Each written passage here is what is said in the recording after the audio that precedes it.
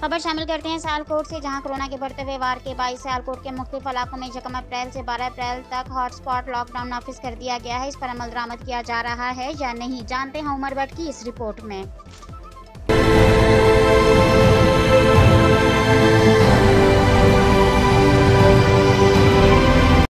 जी बिल्कुल, corona virus के बढ़ते हुए केसेस के बायस सियालकोट के मुख्तलिफ़ इलाकों में हॉट स्पॉट माइक्रो लॉकडाउन नाफज किया जा चुका है जिनमें मुख्तलिफ़ इलाकों को बंद करने का फ़ैसला किया गया था।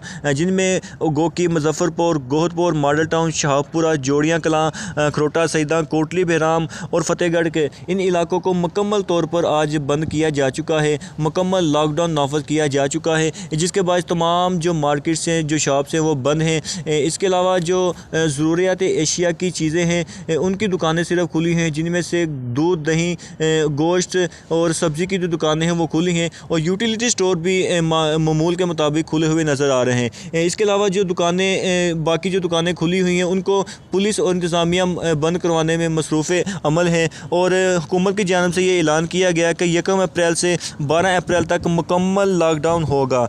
कैमरा मैन टीम के साथ उमर भट्ट, ग्रेट न्यूज़, सियालकोट।